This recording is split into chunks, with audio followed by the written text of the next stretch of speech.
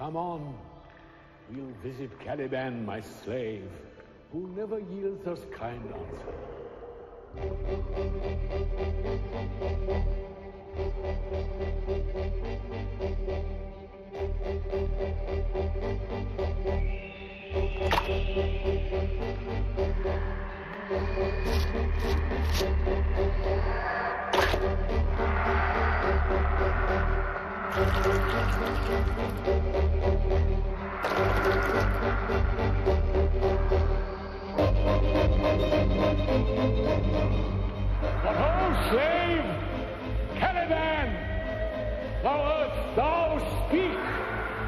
A thick book covered in khaki-colored webbing.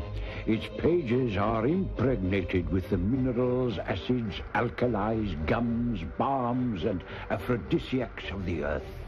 Come forth!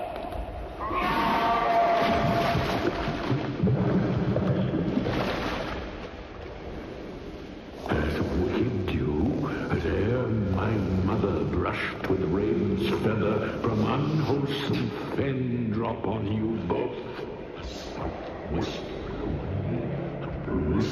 You This island's mine, by Sycorax my mother, thou takest from me. When thou camest first, thou tookst me and made much of me. Would give me water with berries in't, and teach me how to name the bigger light and how the less the burn by day and night. And then I loved thee, and showed thee all the qualities of the isle. The fresh springs, brine pits, barren place and fertile. Cursed be I that did so. All the charms of Sycorax, toads, beetles, backs, light on you.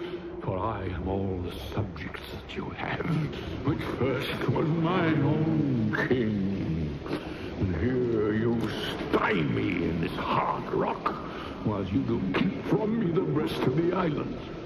Thou most lying slave, whom stripes may move, not kindness. I have used thee, filth as thou art, with human care, and lodged thee in mine own cell, till thou didst seek to violate the honor of my child. Oh, it had been done. Thou didst prevent me. I had peopled else this isle with Calibans. Abhorred slave, whom any print of goodness will not take, being capable of all ill. I pitied thee, took pains to make thee speak, taught thee each hour one thing or other, when thou didst not savage know thine own meaning, but would gabble like a thing most brutish. I endowed thy purposes with words that made them known. You taught me language, and my profit in't is I know how to curse.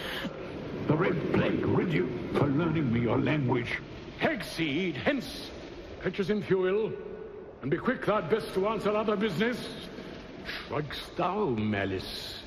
If thou neglectst or dost unwillingly what I command, I'll rack thee with old cramps, fill all thy bones with aches, make thee raw, that beasts shall tremble at thy din. No, for thee!